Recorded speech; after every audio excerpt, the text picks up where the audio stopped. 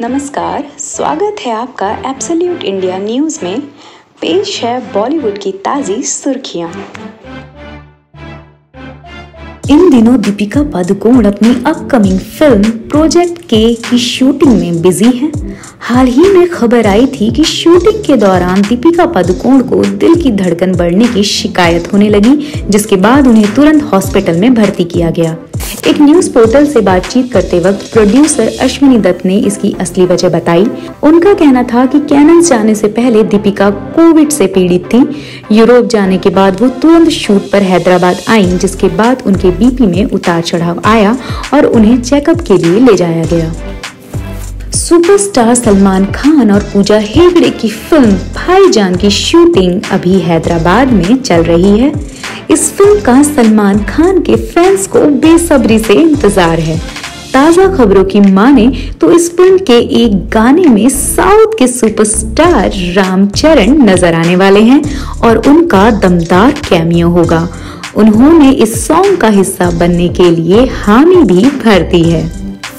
भारतीय महिला cricket team की पूर्व कप्तान मिताली राज की बायोपिक शाबाश मिठू का ट्रेलर रिलीज़ हो गया है। इस फ़िल्म में तापसी पन्नू, मिताली राज की भूमिका निभाती नज़र आएँगी।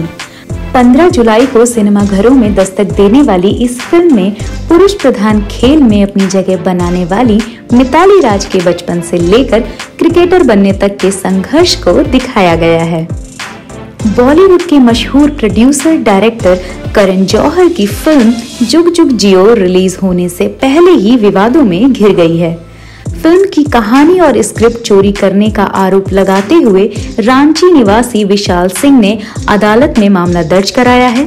शनिवार को मामले की सुनवाई करते हुए रांची सिविल कोर्ट स्थित कमर्शियल कोर्ट ने फ़िल्म के प्रोड्यूसर को निर्देश दिया है कि 24 जून को रिलीज़ से पहले 21 जून को अदालत में फ़िल्म दिखाने की व्यवस्था की जाए।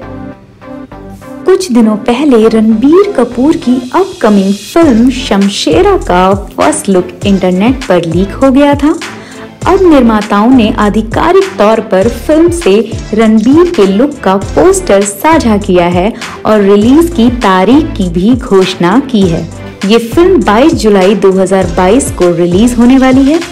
अब आलिया भट्ट ने अपने सोशल मीडिया पर रणबीर के शमशेरा के फ़र्स्ट लुक पर प्रतिक्रिया दी है डालिए नज़र आलिया की इस पोस्ट पर Thanks for watching. Don't forget to like, share and subscribe. Follow our channel Absolute India News on Facebook, Twitter, Instagram, YouTube and website.